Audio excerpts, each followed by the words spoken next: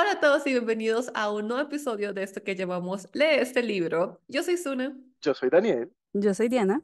Y bueno, hoy estamos súper, súper emocionados porque siento que este va a ser nuestro episodio ya oficial como estructurado, entre comillas, Ujú. como propiamente. Entonces, no sé si Diana nos quiere compartir la programación del día de hoy.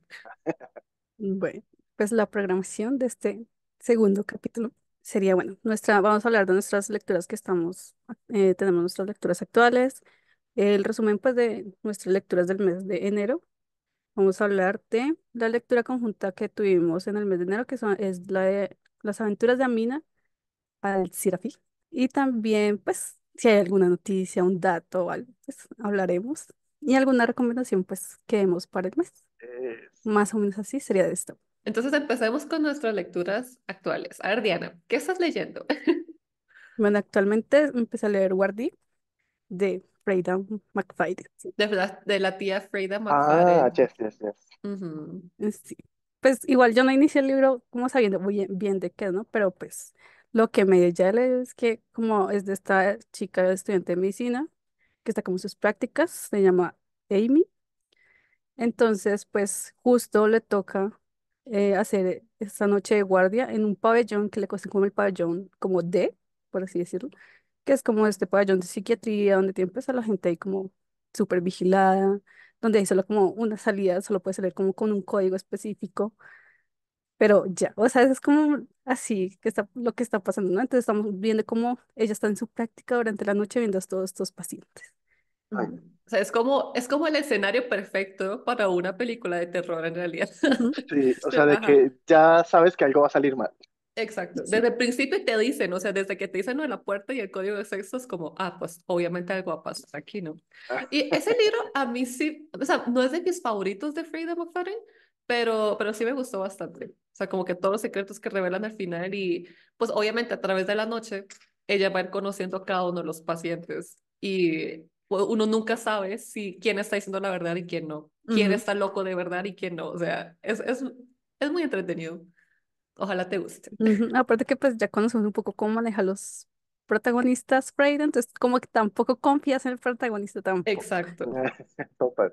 Y Dani, ¿tú qué lees ahorita? Yo estoy leyendo cuatro libros al tiempo, Mm, eh, Oh, pero lo bueno es que siempre que leo muchos libros al tiempo son de géneros diferentes, como para que mi mente no estalle en el proceso. El primero es un ARC que se llama Court of Wanderers, que es este. Me encanta esta función que ustedes me enseñaron del Kindle del mes pasado. O sea, Ah, de poner la portada. ajá, de que Ajá. se quita la publicidad y queda la portada del libro que estoy, me encanta. Yo Es pensé que eso era como conocimiento de todo el mundo, No, No, yo no tenía ni idea. porque yo lo vengo haciendo desde, desde que cambié de Kindle, lo, lo empecé a hacer. Yo sí lo sabía, pero lo que pasa es que cuando yo compré mi Kindle, a mí se me salió la opción de que, bueno, si no quieres la publicidad y quieres tu portada, te cobramos tanto. Entonces en ese momento que yo puse mi Kindle, sí me cobraba, entonces yo dije, pues no, no les voy a pagar, no tengo. Entonces lo dejé así, pero después ya descubrí por un tutorial que vi que una chica como, no, mira, solo hablas con los de soporte y ya. Y yo, Por si que no está entendiendo, básicamente si tú tienes un Kindle, que es el, pues el lector electrónico de Amazon, tú, hay una opción para poner las portadas de los libros cuando tú apagas el Kindle, o sea, como que se quede la portada, entonces sí parece como un libro de verdad. Pero cuando yo me compré el nuevo en el 2020 fue, pero a mí nunca me, o sea, a mí nunca me preguntaron por eso de que tenía que pagar por anuncios o qué. Entonces, nada más yo estaba pues poniendo los settings de mi Kindle y me salió esa opción de, ah, mira, por la portada. Entonces nada más lo puse y siempre lo tuve. Like, mm, no sé si fue porque estaba en Corea o qué, pero, O, o no, probablemente sea una función que antes cobraban y ya no. pero es que Diana lo compró después que yo. Yo lo compré sí. antes que ella. Ah, de pronto entonces porque estabas en Corea, Tal vez, likely. no sé si es que tenía como un tratado, pero nunca, sí, no, no, no sabía que eso existía. Nice. Y se soluciona con un chat de dos minutos con el soporte de. O sea, de que yo le digo, mira, es que yo no quiero que me salga esto, ¿será que me ayuda? Sí, mándame esto, pum, hecho. Yo, ajá, solo te piden como el serial del Kindle y, y ya. Si no tienen todavía esa funcionalidad, pueden ir al chat de soporte de Amazon y les dicen que quieren esto y se le- les ayudan a hacerlo lo mejor. Eh, esta es una historia de fantasía de vampiros. eh, o sea, es tipo el imperio del vampiro kind of thing. Esta es la segunda parte de un... Yo el primero me lo leí por ahí en el 2021, 2022 y hasta ahorita salió el segundo, que es otro arc de Rick Chupeco. No sé si habían oído el nombre De de la hecho, autora. yo creo que Dani nos había mandado el ARC. Yo nunca lo leí, Oh, de pronto les mandé el like de este libro hace como, Sí, do- nos lo hace como un año y medio. muchísimo. Es más, puede ser que todavía lo tenga en mi Kindle como muy abajo, Me- pero, pero muy, muy seguramente todavía lo tengo por ahí. Entonces, sí te gustó el primero. El primero me gustó, estuvo Ok. nice. El segundo está ok. No sé si vaya a ver un tercero, si lo vaya a leer, eh, porque no estoy como tan invested en la historia, pero está Mm. chévere, o sea, está entretenido. Eh, y esta es la autora que no sé si se acuerdan, pero en la pandemia o antecitos de la pandemia hubo toda una polémica sobre Mackenzie Lee firmando libros de otra gente. eh, y ella fue la autora que sacó eso a la luz. Wait, you haven't seen that. Ok, yo tengo un envío ¿qué, en qué, mi qué, qué, canal. qué? Retrocede. Eh, es que en, en el 2020 o 2019, kind of, me acuerdo porque hasta hice un en vivo con Alex, del librero de Alex, echando todo este tipo, muy chistoso. Em, Mackenzie Lee hizo un trato o algo con una librería en Boston. Eh, ya nos adelantamos al fin, pero es un tío antiguo. Eh, hizo un trato en una, con una librería de Boston que si la gente compraba yo no sé cuántos libros, ella pues se los firmaba pero no eran libros de ella. Y era una forma como de ayudar a la librería, porque la librería había sufrido un incendio y yo no sé qué cosas. Ya. Oh. Em, pero entonces los libros no eran de ella, sino eran libros de otros. Entonces, por, de- por ejemplo, me compré Skyward y ella, ay, bueno, oh", y obviamente el- el- la persona pedía que le firmaran, supongo, yo no sé cómo era. Y entonces esto me firmaba, ay, Daniel, yo no sé qué, pero me firmaba Skyward de Brandon Sanderson, porque no me compraba un libro de ella. Y como que hubo muchos libros de autores de color que, que no les gustó que les hayan hecho eso y se armó el, el peo, pues. Pero la gente, digamos, yo como cliente que compro, que compré Skyward, yo estaba de acuerdo con que ella me firmara ese libro, ¿no? Creo que sí, pero no me acuerdo del detalle. Entonces no estoy del todo seguro. Lo que decían era, güey, o sea, hubieras hecho una nota y, te la, y se la pegabas en post-it al Ajá. Ajá, libro y ajá. no firmabas el libro. Eh, pero sí, eso fue todo una, una crisis en Book Twitter. En ese momento era Twitter. Eh, no me acuerdo de todos los detalles, pero ahí está la transmisión en el canal de hace como tres o cuatro años, así que pueden ir a echar ese chisme. Wow, Em, es, pues Ahí sí me está. imagino que puede ser una polémica. entonces, ese es el de fantasía, es el ARC. Me estoy leyendo ciencia ficción con Skyward, ¿Ya que este año creo Skyward? que sí, voy en la página 207. voy por ¿Y si te está gustando o, o qué te parece? It's nice. Y acaba de pasar una escena muy trágica con los cadetes y es como, ok. dude, what the fuck. Entonces, me gusta. Es que ese primer libro es muy introductorio al mundo. O sea, lo que pasa en los siguientes, o sea, no, no te imaginas, no tienes ni la más mínima idea de lo que va a pasar en los siguientes, porque, o sea, en serio, el primero es súper, súper introductorio al mundo. Y me está gustando. Y lo mejor, bueno, hay un club de lectura en Colombia que va a leerse toda la saga este año. Eh, y es como cada dos meses se leen uno. Entonces yo como que voy a intentar unirme. Entonces me uní este mes. Creo que en marzo se van a leer el segundo y así sucesivamente. Así que ya veremos. Este es el de ciencia ficción. Luego me estoy leyendo este de no ficción, Atomic Habits, que lo tenía desde hace años y nunca lo había hecho y me está gustando mucho. Está lleno de post Y el último libro es un audiolibro que es el de How to Sell a Haunted House. Todavía estás. Que, leyendo ese libro, güey, es que, es que ahorita con los audiolibros estoy lentísimo porque hay veces en que en el gimnasio me dan ganas de escuchar y otras veces en que no. Por ejemplo, ayer supuestamente iba a escuchar y no. Y me quedan como todavía dos horas y 40 minutos del audiolibro y me quedan tres días de enero. No sé si lo vaya a lograr, pero ya veremos, ya veremos cómo va a terminar. Y esos son los libros que yo estoy leyendo en este momento. ¿Qué estás leyendo tú, Su? Cuéntanos. Yo, es que ayer terminé de leer House of Sky and Breath, que es el segundo libro de. Crescent City. Es un merotocho de más de 800 páginas y me lo volé. O sea, Sí. es que, es que creo que todavía no he, o sea, en ninguna parte he hablado de lo que pensé del primer libro de Crescent City. El primero es muy aburrido, así se los digo. O sea, o sea, las primeras 400 páginas, aburrido. Así les digo. O sea, y es que los protagonistas se peleaban por lo mismo una y otra vez y yo estaba cansada de su banter y yo, ay, otra vez con esto mismo y otra vez y otra vez. Pero la segunda mitad se pone mucho mejor. Entonces, en resumidas cuentas, le hubiera quitado la mitad del relleno y el libro hubiera sido de 400 páginas y creo que le hubiera dado un puntaje más alto. Pero a mí me, me aburrió tanto que le di tres estrellas. O sea, lo que lo salvó fueron las últimas 200 páginas, que estuvieron tan buenas que dije, Oh. bueno, Vamos a dejarlo en Es que tres. eso, Porque, eso era justo lo que iba a preguntar, de que si te aburrió y le diste tres estrellas, why are you reading the second one? Y porque, ya ahí me lo porque respondiste. Ajá. El segundo también tiene relleno, pero por lo menos ya no se pelean por lo mismo una y otra vez como en el primero. O sea, igual yo siento que 800 páginas es Es too much. exagerado. O sea, ta- yo digo que unos 500, tal vez máximo 600 hubiera sido como perfecto, pero tuvo un poco de relleno, como que es que como que van pasando muchas cosas y tú, oh, wow, ahora sí, ya vamos avanzando y luego se regresan al apartamento y están viendo una película y uno. Capítulo de relleno. Total, como estarse viendo Naruto de que están en la pelea y luego otra cosa y uno, ¿qué está pasando? Ajá, o sea, es, es muy tipo Shadowhunters, así es como lo puedo comparar, de que en el mundo hay humanos, hay fays, hay vampiros, hay dioses, hay pues todo ese tipo de cosas, ¿no? Como en Shadowhunters, y hay demonios, y es básicamente como un, pues hay un misterio, se siente un poco como thriller, pero muy moderno, pues sí, pues sí, no sé cómo es, como, es raro, no sé. Pero bueno, la cosa es que al final de, del segundo libro, o sea, yo quedé destrozada. O sea, yo, en mi opinión, ese cliffhanger fue peor que el de Iron Flame y Iron Flame también fue, Ujú. fue bastante. Y, y ahorita ya no sé qué leer. Estoy entrando en crisis. Tengo opciones. Vean, el primero se llama Our Hideous Progeny, que es como un horror gótico, como una especie de retelling de Frankenstein. Creo que es como la tatara nieta o algo así de Victor Frankenstein, la protagonista. Y no sé si era como que ella está tratando de, de hacer como, ¿qué digo?, una investigación o algo, y en eso se topa con toda la investigación de, tu, de, su, de Victor Frankenstein de hace muchísimos años. Y no sé si será que trata de crear vida o algo, pero suena muy interesante, ¿no?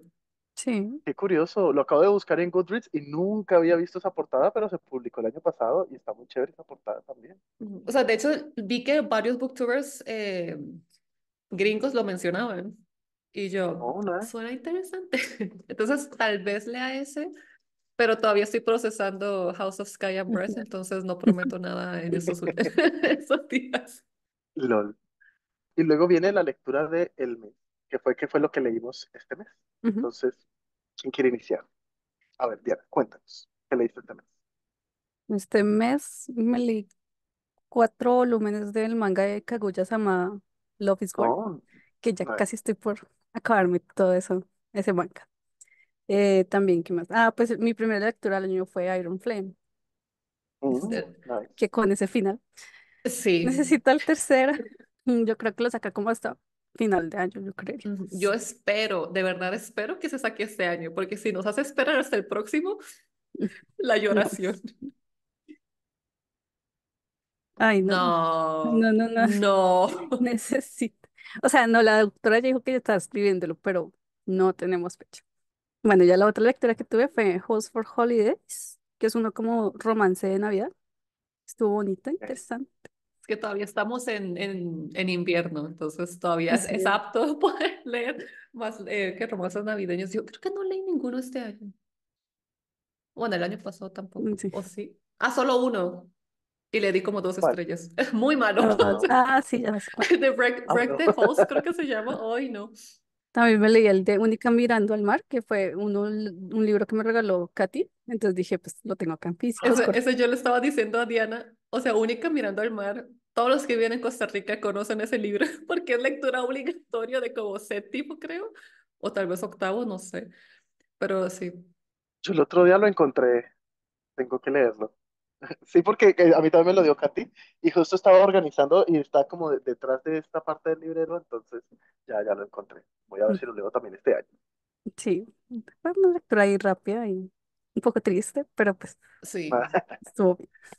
También me leí un romance que se llama Mile High, que es Ok. eh, de este como deportista famoso de hockey y con eh, la chica que es la azafata del avión de su temporada del equipo y empiezan como esa relación entre ellos dos. Yo siento que los sport romances en realidad han estado en el mercado durante mucho tiempo, pero yo por alguna razón no había como escuchado mucho de ellos hasta creo que el año pasado, Que de verdad se hicieron súper, súper populares, ¿no? Eso del hockey romance y no sé qué cosas.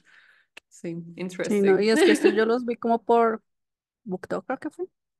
Pero pues también a Booktuber se los he escuchado. Sí, es que antes eran super underground, porque yo me acuerdo cuando yo empecé a BookTube, habían, eh, así tipo de Wattpad y cosas así, había muchas historias de ese estilo de jugador de hockey, ta, ta, ta, pero no eran así como, siempre las veía uno tipo en Goodreads, pero no eran así como tan popularmente famosas, y ahora ya empezó a despegar mucho eso, otra vez. Sí, incluso este libro es como, como que toda una serie, bueno, ya es como trilogía.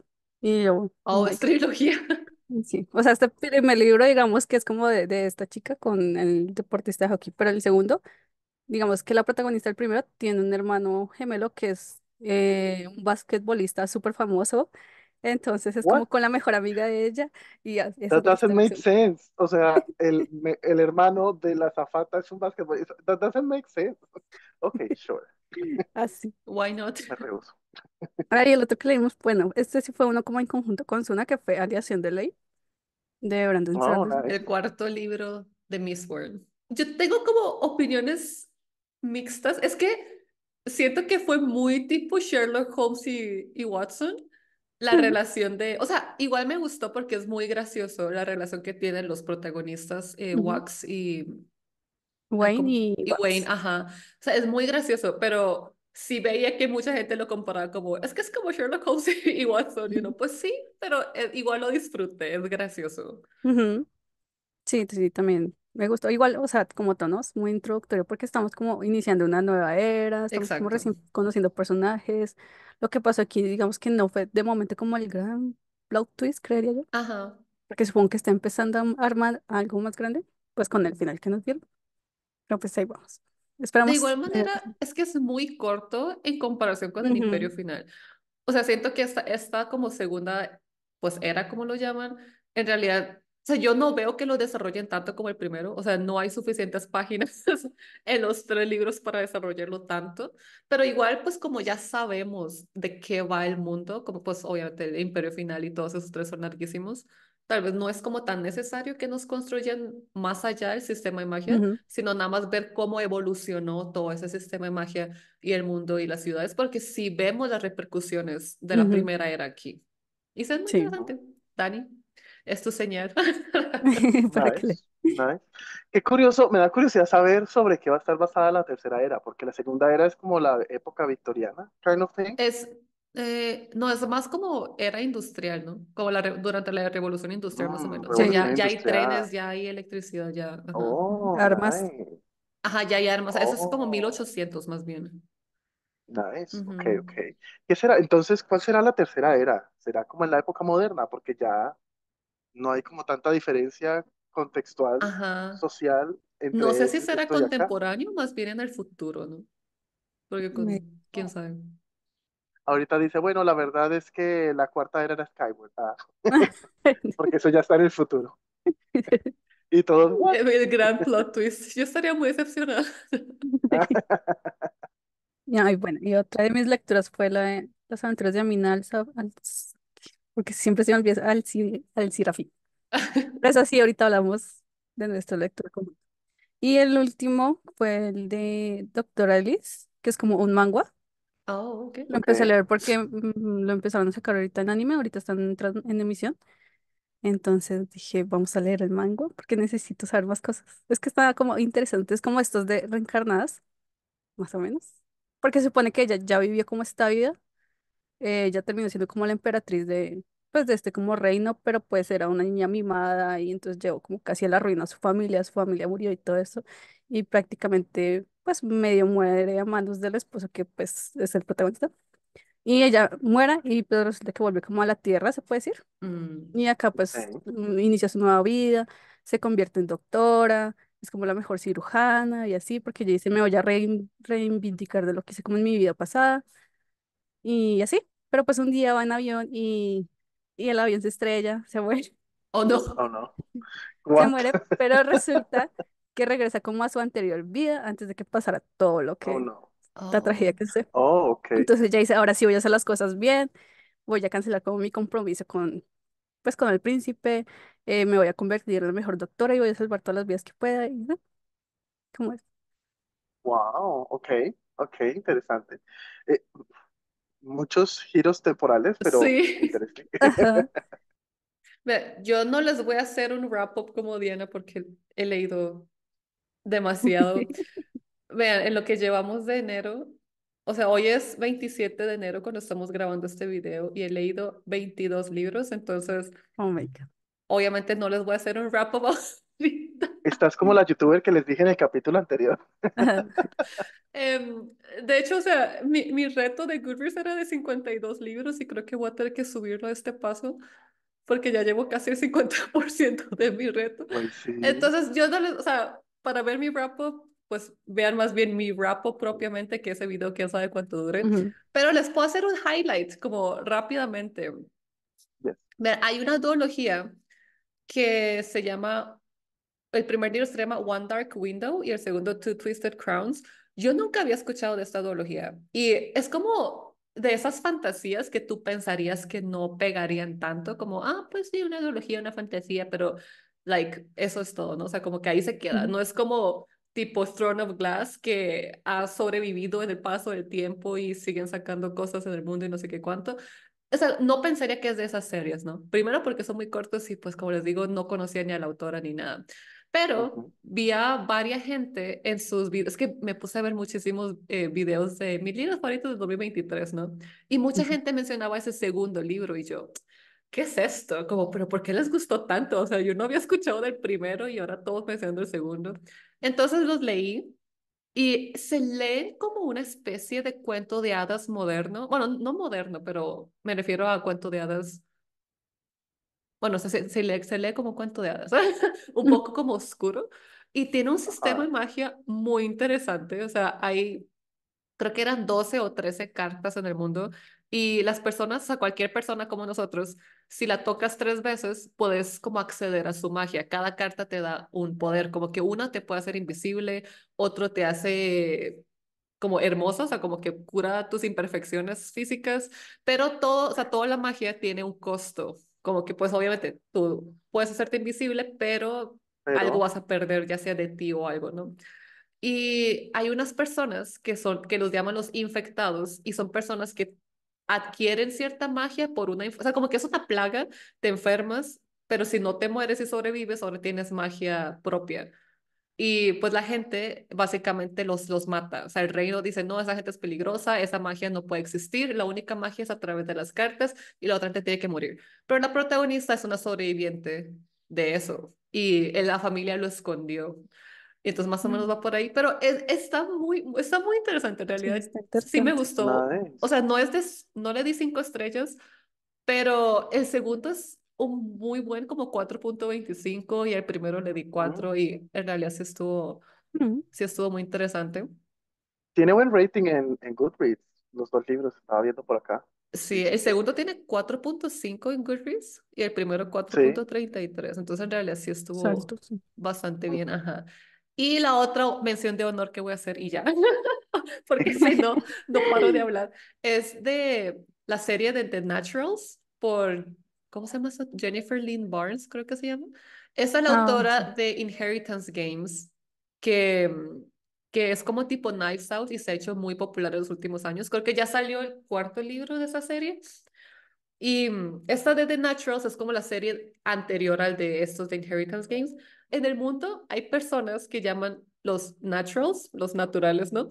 Y es que son personas que tienen ciertas habilidades, como por ejemplo, hay una chica que puede detectar mentiras, o sea, ella nada más sabe cuando alguien está mintiendo. Luego hay otro que es bueno con, la- con las emociones, entonces sabe, o sea, ve a alguien y sabe, ah, está sintiendo miedo, ah, está ansioso, y así. Entonces, no, o sea, no son como poderes muy supernaturales, pero sí son ciertas habilidades que el FBI, por ejemplo, puede utilizar para atrapar criminales, ¿no? No. Entonces, la protagonista es una natural. Y el, al principio del primer libro, resulta que un agente del FBI llega y le, y le dice, mira, tenemos este programa para naturals, es una casa con otros adolescentes con habilidades distintas y te queremos invitar a este programa. Entonces ella pues termina yendo ahí y, y pues de eso se trata. O sea, como de ellos resolviendo crímenes, pero es, es muy, muy entretenido. O sea, yo me leí los cuatro libros en cuatro días y creo que eso dice mucho. Muy bueno. Recomendado. Nice. Sí, muy interesante. Y pues creo que esos son todos los libros que les voy a mencionar porque si no es que estaríamos aquí dos horas.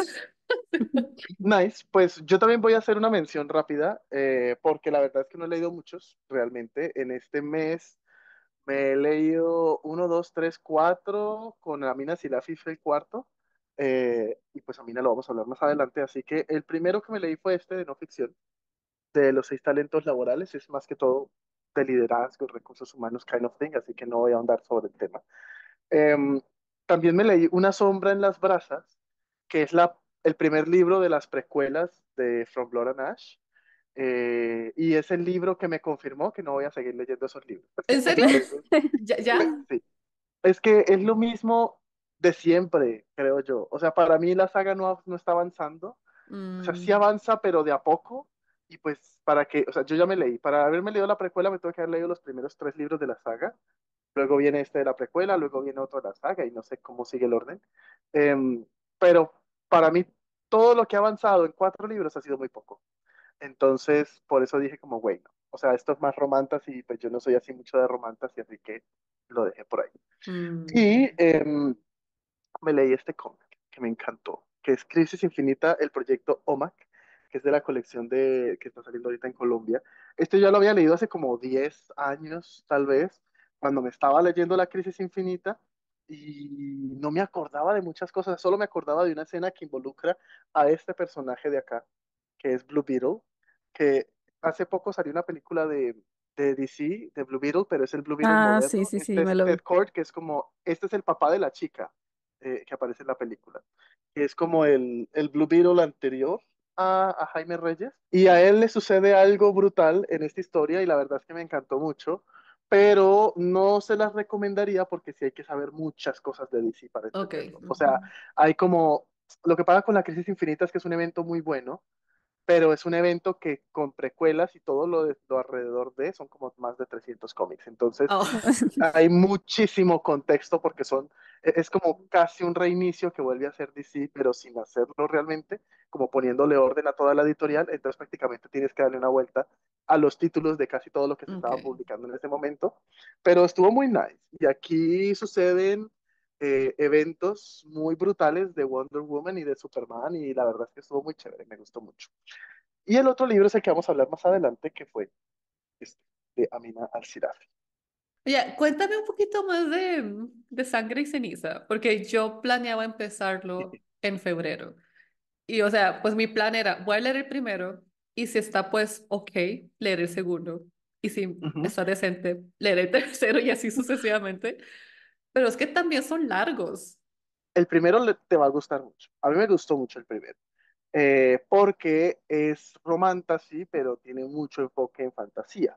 Ok, Entonces, eh, vas a ver el mundo que crea Jennifer L. Armentrout, que me parece muy bueno, eh, que es como con vampiros y una especie de lobo, que son como hombres lobo, pero no, pero es más como dark fantasy kind of thing. Entonces, es muy chévere. Eh, y la forma en cómo se va conectando la trama de la, de la protagonista con el supuesto villano y todo eso, es muy chévere. El segundo ya fue muchísimo más romantasy que fantasy y, y tenía ya muchas escenas de de pronto eh, piropeo por aquí o flirteo y luego ya relaciones y ta, ta, ta, y como que fue al final, como cada 100 páginas la autora se acordaba de hacer algo sobre la trama y yo era como, güey, o sea, thi- this is not working for me. Pero al final fue un cliffhanger que yo dije, wow. Entonces, bueno, me leí el tercero. El tercero estuvo un poquito equilibrado en romance, en romance y fantasy, pero mm, y me leí la precuela y ay no, ya me aburrí. O sea, no, no le está sumando nada. Siento que ya para mí como que... mm.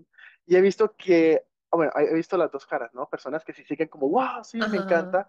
Y otros que de pronto, pues a los que sí les gusta el romance, supongo que es una serie excelente. Em, pero a, a mí me gusta más como fantasy per se. Y ahí es cuando siento que, ah, que me está perdiendo un poco. Pero sí he visto que muchas personas amaron el primero y a partir del segundo como que empiezan a, a echarse para atrás. Mm, ok. Eh, pero ya veremos. Yo creo que el primero te va a gustar. El primero estuvo chévere, me gustó mucho. Yo tengo miedo.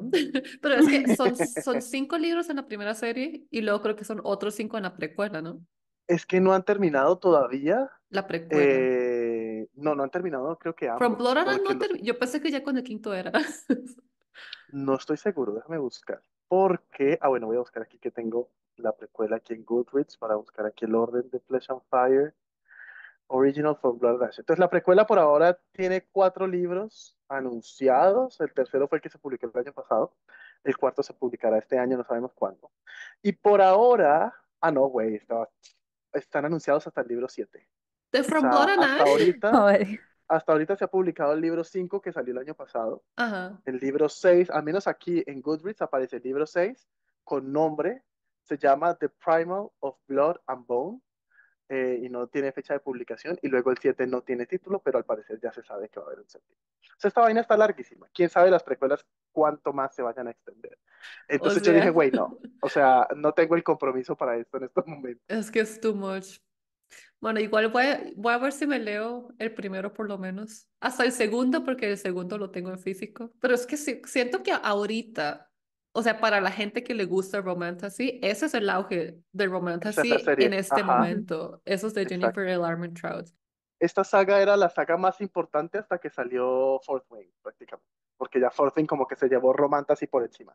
Pero esa era la, Pero la más popular. igual yo siento que Fourth Wing, por lo menos esos primeros dos libros, todavía es más fantasía que romance. Quién sabe si en los siguientes.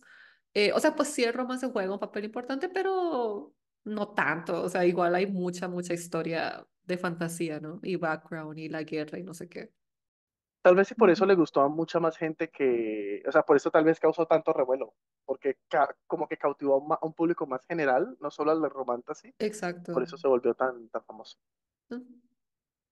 Pero bueno, está bien. Gracias por ese background de From Blood and Ash. Ya más o menos sabemos a lo que nos vamos a meter. Yes. Ah, es chévere, todo el lore tiene que ver también como con deidades primales, supongo que por eso el sexto se llama The Primal of yo no sé qué cosas. O sea, el lore es chévere, pero me molesta que tenga que comerme tanto romance para llegar a ese lore. Entonces, por eso dije, no, ya, enough. Pero es, es nice. O sea, yo siento que no sé qué tanto romantasy he leído en realidad, pero siento que sí también, o sea, si es como demasiado centrado en romance, para eso mejor me leo un libro propiamente de romance, ¿me explico? Pero Ujú, vamos a ver. exacto. Y bueno, pues el siguiente tema es la lectura conjunta del mes de enero, que viene siendo las aventuras de Amina al-Sirafi, que fue- esta fue una de las novedades más famosas del año pasado. Estuvo nominada a Mejor Historia de Fantasía, si no estoy mal. No me acuerdo si la alcanzaron a sacar en Historical Fiction, creo que no. No porque igual es más fantasía que Historical Fiction, pero déjame ver así por encima. No, solo está en fantasía. A mí lo que me parece interesante de este tipo de, de fantasía es que, o sea, sí he leído un par de libros de piratas, porque básicamente es de piratas, ¿no? Yes. Pero siento que todos han sido más de fantasía, ¿no? Pero como está ubicado en el mundo real, o sea, mencionan Ajá. países de verdad, de ciudades de verdad que existen. Y como muchos de las, como los, los conflictos políticos que mencionan, todo eso es real, o sea, eso realmente Ujú. existe. Entonces se siente como una eh, ficción histórica, que me imagino que en esa época también habían pues ciertos tipos de piratas, me imagino, ¿no? O sea, eso en todo el mundo habían piratas, ¿no? En Asia, en, no sé si en América, me imagino que también habían ciertos piratas, pero entonces se siente más como una ficción histórica hasta que ya empezamos a ver pues los puntos fantasiosos, ¿no? Yes. Hasta que llegan a la isla y ahí ya Ajá, todo se vuelve fantasioso. exacto. O sea, en un punto lo sentimos como realismo mágico hasta cierto punto y ya pues ya después es como, ah, ok, no, es, es fantasía. Es, es muy chévere porque se nota, digamos, que la investigación de, de Shannon en, en todo lo que tiene que ver con esa cultura. Eh, además de que justo antes de empezar a leer este libro me empezó a salir en TikTok eh, videos de los piratas modernos, que no sé si a ustedes les han salido, pero No. actualmente por allá en las costas de Somalia, creo que es, que es más o menos como por la misma región, si no estoy mal, de donde pasa esto, o sea, como entre África y Asia Ujú. kind of thing, o sea, como por toda esa parte, ¿ese qué océano es? ¿El océano Índico? El que queda como entre Sí, África, Asia, kind of thing. Em, como que esa parte todavía tiene muchos piratas, obviamente no son piratas con los barcos así gigantes de madera como One Piece o como los que están aquí en esta historia, sino más como tipo lanchas y cosas. Em, pero eso todavía existe y es un problema real y según tengo entendido, en las aguas internacionales, en este mundo contemporáneo, no está permitido llevar armas. o algo así. Oh, Obviamente los really? piratas llevan Ujú. porque piratas, pero eh, lo cual no tiene sentido. Pero supuestamente no se puede llevar armas y entonces a los barcos así gigantes de carga y de yo no sé qué otras cosas les toca poner tipo alambres de púas y tienen como Oh, puentes así okay. de mangueras a alta presión de agua para inundarlos o algo así. O sea, es como muy loco y bueno, justo como que es más o menos como en la misma zona de, de donde pasa Amin al-Sirafi. Em, y yo no había leído historias de piratas, o sea, que yo recuerde, yo no había leído muchas historias de piratas antes, no sé ustedes, Yo pero el tampoco. único no que he yo me acuerdo es un clásico que es La Isla del Tesoro de Robert Louis Stevenson, que de hecho lo leí, pero también me acuerdo de eso más por todas las adaptaciones que ha tenido de películas, como la película de los Muppets, que me encanta. Eh, y la otra historia de piratas que más he visto, pues es One Piece, pero de resto, Mm, libros de piratas, yo nunca, ujú. que yo me acuerde, Mm. había leído Yo sí me leí uno que se llama To Kill a Kingdom, no me acuerdo la autora. De Oh, hecho, ese, ese fue muy famoso en, en, pues cuando salió, ujú, se publicó. No sé si fue nominado eh, en alguno de los de Goodreads de fantasía probablemente, pero ese era como de piratas y sirenas. O sea, tú veías y era 100% fantasía. De hecho, Tress of the Emerald Sea em, también, Eso pues también. también tiene un Mm. poco de, de piratas. Ajá. Nice. Entonces, pues creo que esos dos son los que me acuerdo ahorita. Quién sabe si he leído otros. Pero sí, este definitivamente, como digo, se sintió más, pues real, entre comillas, ¿no? Por, por todo el setting que tiene. Ujú. A mí no me encantó como gente que le daba cinco estrellas, pero sí me gustó bastante. O sea, yo le di las cua- cuatro estrellas, unas cuatro bi- bien sólidas estrellas. Sí. Cinco de Dani. Mi, No, sí, yo también le di cuatro no, me estrellas. pareció muy chévere porque es que cambió muchísimo. O sea, para mí fue un libro muy diferente Ajá. ah, por el tema de la navegación, de los barcos. eh, los personajes me parecieron muy chistosos, muy chéveres. Dalila es un personaje muy Dalila genial. es mi personaje favorito. O sea, no, me, me gustó, estuvo nice. Y como que crea, ya, ya uno sabe, fue como The Handmaid's Secret, ¿fue que se llama? O The Handmaid es el que se llama de Freida, que ya nos deja la idea de qué es lo que va a pasar en los siguientes, de que yo already know. Entonces, Ujú. este también, ¿no? De que ya sabemos ahora de qué se van a tratar los siguientes libros, que supongo que va a ser trilogía, porque ella creo que usualmente saca trilogías. Entonces, pues ya veremos, pero a mí, a mí me gustó. O ¿A ti qué sea, te de fijo, muy seguramente sí lea los siguientes libros, Ujú, porque pues sí, pues sí, para, para saber qué más va a pasar con Amina y, bueno, a cómo terminó la historia, lo que le pasa a Amina, sin spoilers, pues obviamente pues sí quiero saber más de ella. Yes. Sí, no, pues a mí también me gustó, o sea, pero pues no me encantó tampoco. Igual es que también sí me pasó, es que al principio me costó mucho como coger el ritmo, o sea, no, me costó. Ya después como que cuando ya empieza a salir Rask, como que ya le agarré un poco más el ritmo porque pues ya vemos un poco más allá algo, pues e- el Rask es un ser diferente. Entonces como que empezamos a entender un poco más de este mundo al que nos estamos como metiendo y sobre todo cuando ya llegamos a la isla, obviamente que todo lo que se destapa, todo lo que sabemos, pues sí, ya uno como que te agarra ahí. Pero entonces sí te deja ahí como de sí quiero saber más yes. qué va a pasar porque sí siento que le falta por desarrollar mucho más. Nice. Y he escuchado que la otra trilogía de, de, de ella también es muy chévere, que es La Ciudad de Bronce.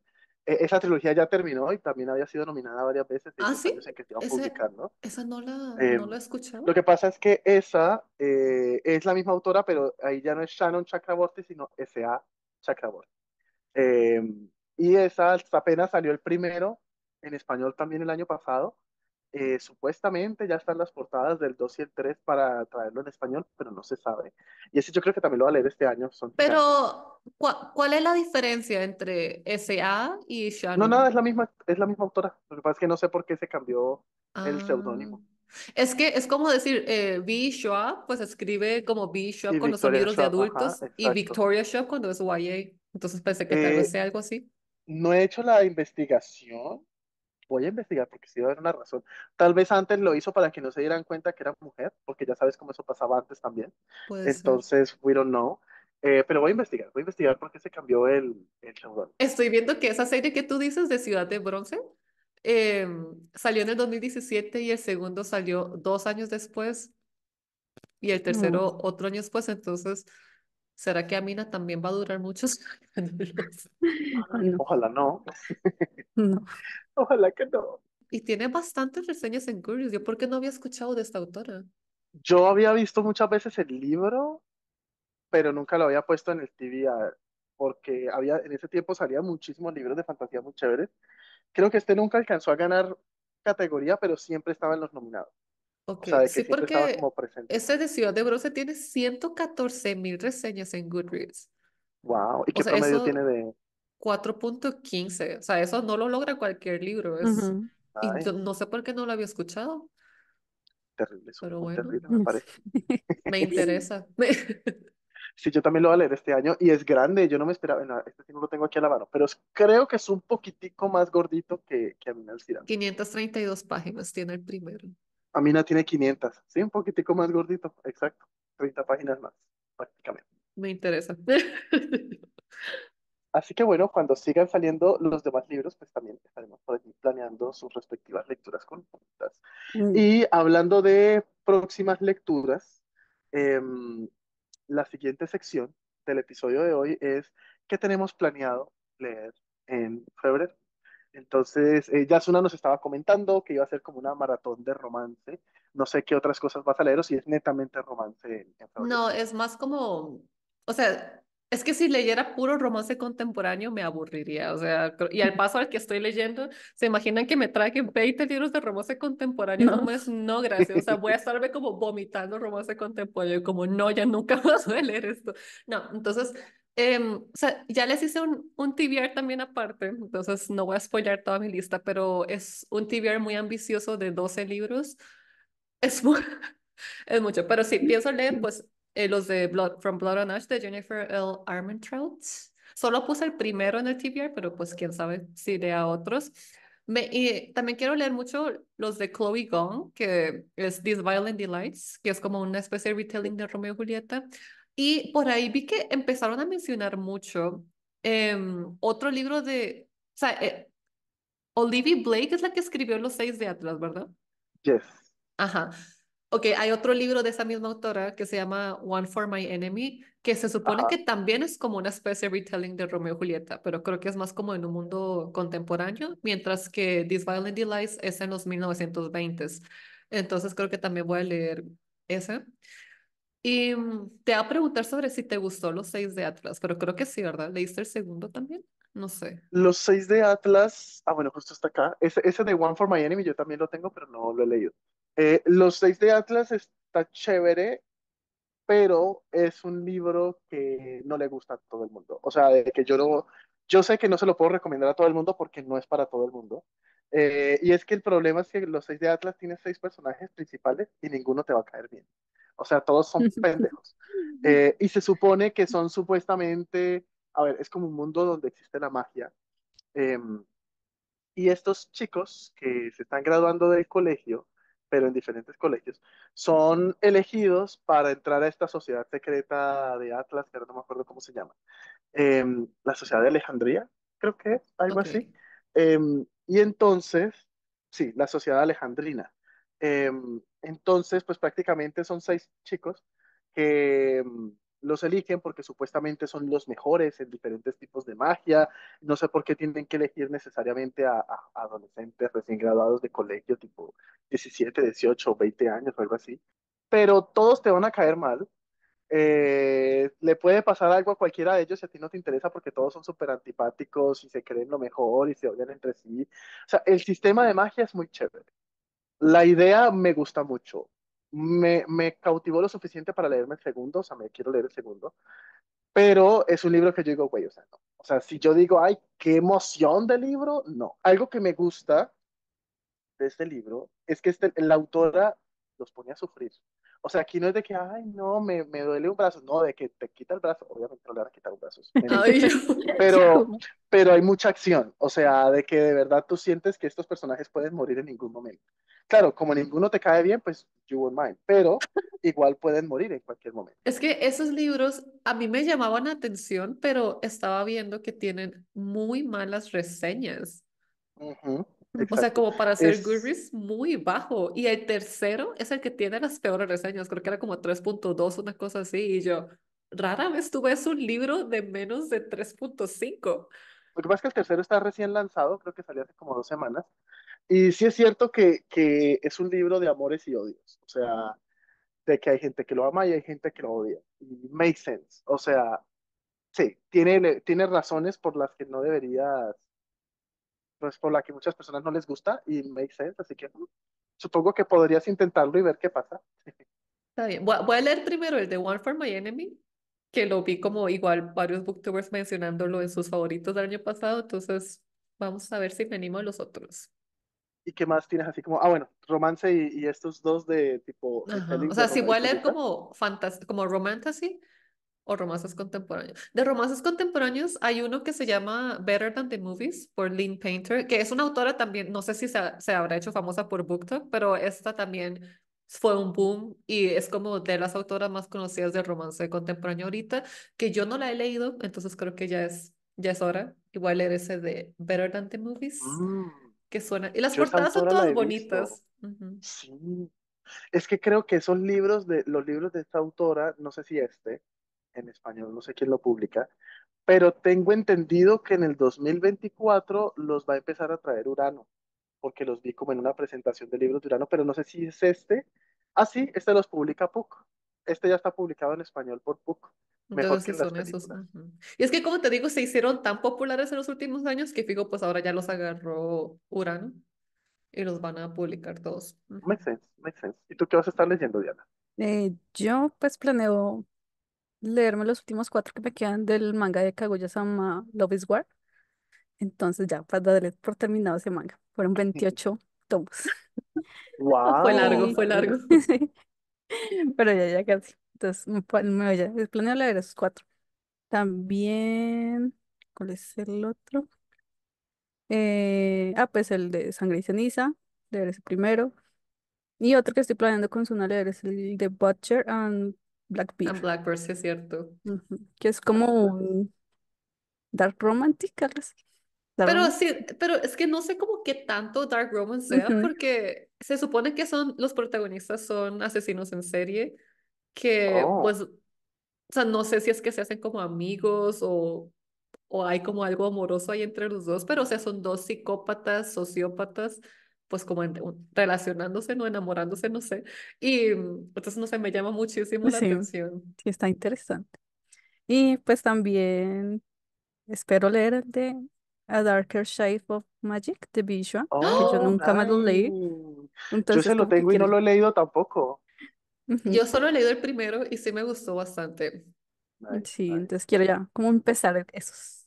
Nice, nice. Pues en mi caso, yo también tengo un TBR muy grande, pero em, bueno, primero, el, usualmente me quiero leer un libro de no ficción al mes. El de este mes fue Atomic Habits, que hasta apenas voy casi en la mitad, pero porque antes estaba haciendo otra cosa en el tiempo en el que supuestamente iba a leer libros de no ficción.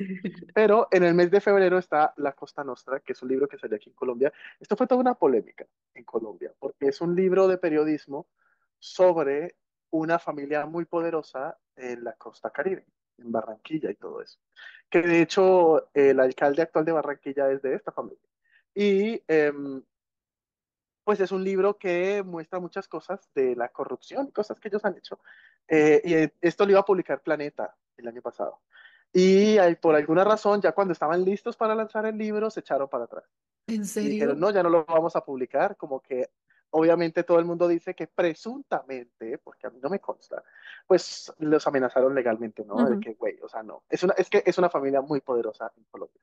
Entonces, Planeta se echó para atrás la periodista pues obviamente lo, lo dio a conocer de que, güey, o sea, esto hicieron con mi libro, todo el mundo dijo, güey, what the fuck, o sea, obviamente le dieron más, o sea, yo no sabía que este libro iba a salir hasta que se armó el peo, prácticamente. Y creo que toda Colombia tampoco sabía, o sea, los que iban a saber era como su, su, su círculo. Y ahora toda Colombia se enteró que el libro iba a salir y una editorial independiente que se llama Rey Naranjo dijo, pues mira, saquémoslo. Y aquí está. Entonces, eh, es muy chistoso porque ellos son los dueños del equipo de Barranquilla, que es la mascota es un tiburón, Ujú. entonces también le ponen el tiburón, o sea, está genial. Y mm, ella lo presentó en la Feria del Libro de Bucaramanga, también está firmado por acá. Y pues lo voy a estar leyendo en febrero, la verdad, me encanta. O sea, esto es puro chisme político nacional y estoy súper up to it. Entonces es el primero que me voy a estar leyendo de no ficción. Luego de fantasía me voy a estar leyendo este que se llama Soñadora de Mundos 2, La espada mm, rota y la herrera de sangre de M.P. Toro. que de hecho ayer entrevisté a la autora, así que pronto estará saliendo en YouTube la entrevista. Este es el segundo libro de Soñadora de Mundos, que es el que está aquí arriba, eh, que es una fantasía colombiana. Y bueno, pues ya veremos, ya veremos. La primera estuvo nice, estuvo entretenido, ya veremos qué me parece. Y luego, pues en mi misión de ponerme al día con ediciones oral, porque ya me van a mandar otra vez el portafolio de este mes y no he adelantado mucho. Estoy leyendo, eh, me voy a leer La caída del príncipe del fuego, de Liskova, que con este también voy a definir si me voy a seguir leyendo la serie o no, porque yo creía que era fantasía, pero el primero tenía mucha pinta de romantasy, pero no tan romántico romantasioso, iba a decir, no tan romántico, eh, pero pues tampoco tenía mucha fantasía. Entonces dije, bueno, vamos a ver qué tal es el segundo. Si el segundo es nice, pues digo, ok, voy a seguir con los demás. Que afortunadamente no los han seguido sacando en Colombia, yo creo que van a retomarlos este año, así que no he tenido que pedirlos mientras tanto. Por este, con este voy a decidir qué pasa con eso. Luego me voy a leer este, que es de una autora que lo tengo también pendiente desde hace rato, que he escuchado muchas cosas geniales, que es Ava Reed con La Loba y el Leñador tengo entendido que es como una fantasía relacionada con la mitología judía, algo así. Mm. Entonces, me gusta, me gusta porque es como un tema diferente Es y, y ya veremos qué acontece por allá. Y la otra es esta, Tragedia en Villa Rosato, Eso lo de quiero Rachel leer. Hawkins. Este estuvo prenominado a Thriller este año y luego ya no quedó en la nominación final, que es como un retelling de la noche en que se escribió Frankenstein y creo que El vampiro de Polidori, que es como esta noche en donde estaba Mary Shelley con su esposo y con el señor Polidori y no sé quién más, que se habían hecho como esta, mm, este reto de que el que escribiera la historia que más les diera miedo ganaba o algo así, y esa noche se escribió Frankenstein. Eh, pero entonces es como un retelling de eso, pero el giro es que uno de los cuatro muere y tienen que saber qué pasa, ¿no? De por qué, Oh, o si alguien lo asesinó o algo así, y esa es como el, la idea detrás de, de este libro. Eh, y luego, el, en cuanto a arcs, me voy a estar leyendo el arc de la historia esta de ciencia ficción que es de terror, que se llama Ghost Station, que se ve súper no, chévere. sí, sí, sí, Eh, sí lo quiero leer. que no me acuerdo si ese también te los mandé. Sí, Y eso es lo que yo voy a estar leyendo en febrero. Son varias cositas, pero tengo fe, tengo fe de que los pueda leer todas. Y pues sí, creo que con esto vamos a ir cerrando em, este episodio del podcast. Espero que les haya gustado, lo hayan disfrutado. Coméntenos qué van a leer ustedes. No sé, yo siempre estoy como chismeando lo que va a leer la otra gente. Ajá. Sí, es cierto, porque además de muchos de esos comentarios sacamos también recomendaciones, Exacto. incluso surgen hasta lecturas conjuntas, porque a veces muchos de esos libros son libros que ya hemos visto y que los tenemos así como volando y luego alguien nos dice, güey, lo leí, me gustó mucho y nosotros, "Hmm, ok. O sea, mira, nosotros tenemos una voluntad muy frágil, entonces con que nos digan más o menos que les gustó, nosotros, ok, yes. Exacto. Somos muy maleables. Y recuerden que tenemos Instagram de, de nuestro podcast, el pod, ¿cómo es? Le, no, lee este libro pop. Lee este libro Sí. yes. Y para que nos sigan allí, vamos a poner algunas recomendaciones de, pues, del mes, de, peli, de variadito, ¿no? Series, películas, libros, para que se pasen por allí. Yes, no se pueden perder porque ahí estamos prácticamente anunciándoles varias cosas de lo que pasa en el mes eh, y de lo que más o menos hablamos en el capítulo y lo que más o menos vamos a hablar en el siguiente capítulo. Así que no se lo pueden perder. Exacto. Y pues sí, con esto nos vamos despidiendo y nos vemos en un mes aquí, porque es un podcast mensual. Entonces, pues sí, nos vemos el próximo mes. Bye, bye. Yes, bye. Bye.